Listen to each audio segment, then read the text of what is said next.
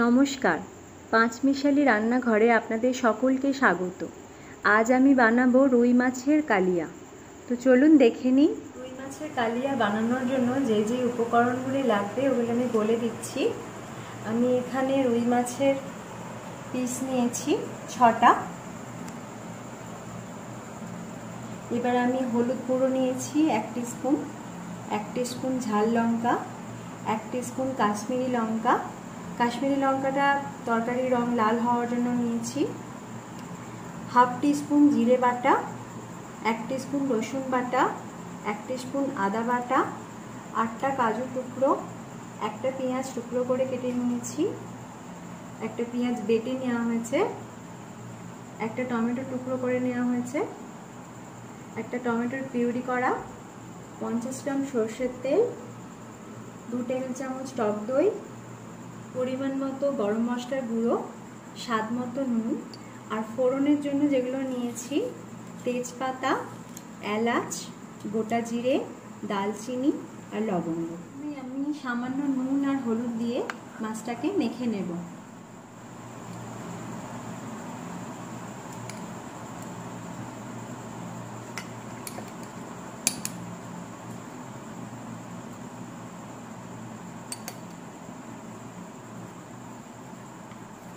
আমি ওভেনে কড়াইটা বসিয়ে দিয়েছি।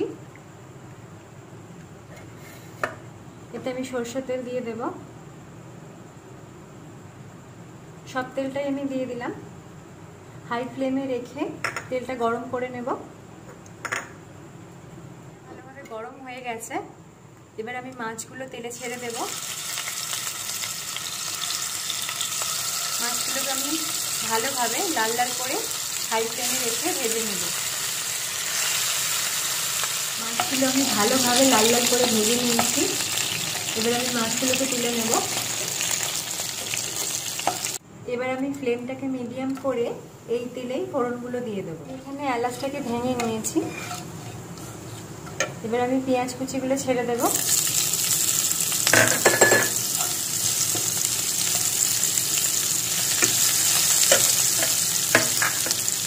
পেঁয়াজ কুচিটাকে একটু নাড়াচাড়া করে এটা আমি টমেটো কুচিটাও দিয়ে দেবো।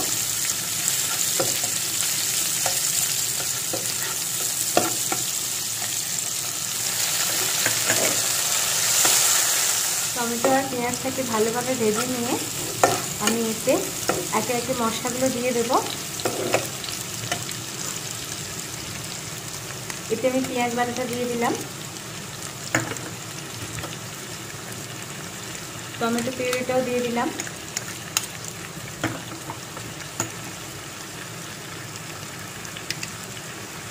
জিরে বাটাটা দিলাম, রসুন দিয়ে দিলাম, আদাও দিয়ে দিলাম। এবার আমি মশলাটাকে ভালোভাবে কষিয়ে নেব।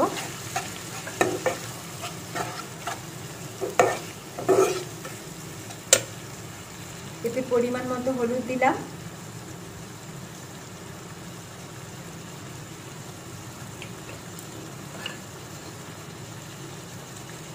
ঝাল লঙ্কা দিলাম। কাশ্মীরি লঙ্কার গুঁড়ো দিয়ে দিলাম।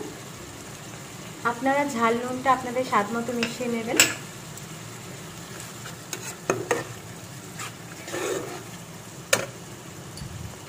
আমি এতে পরিমাণ মতো নুন দিয়ে দিলাম। মশলাটা কষাতে কষাতে আমি কাজুটাকে বেটে রাখব।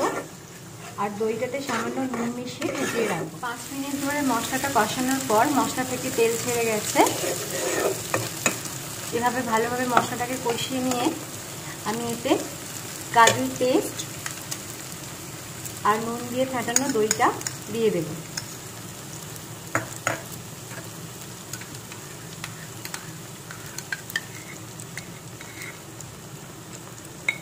এটাকেও আমি দু মিনিটের জন্য নাড়াচাড়া করে নেব। মিনিট ধরে কষিয়ে নেওয়ার পর এতে আমি কাজুর বাটিতে জল দিয়ে, বাটিটা ধুয়ে জল দিয়ে দিলাম এতে।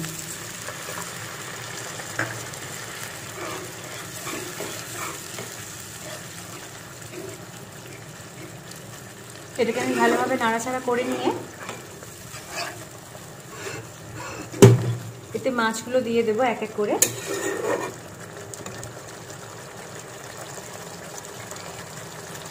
আমি এতে খুব বেশি জল মেশালাম না।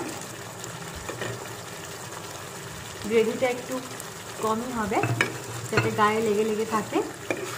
ঝোল ঝোল করব না। মাছগুলোকে আমি ভালোভাবে গ্রেভিতে মিশিয়ে নিয়েছি। এবার আমি ফ্লেমটাকে লো করে দিয়ে ঢাকনা দিয়ে দেবো পাঁচ মিনিটের জন্য।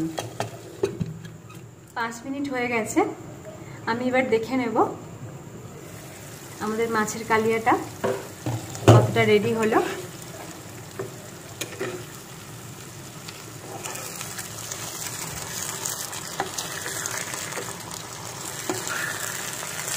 মাঝে মাঝে আমরা বাড়িতে এই মুখ বদলানোর জন্য এরকম রান্না করতেই পারি। এবার আমি গ্যাসটাকে অফ করে দিলাম।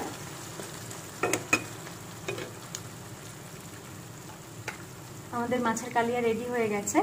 এতে আমি এবার গরম মশলার গুঁড়োটা ভালোভাবে মিশিয়ে নেব।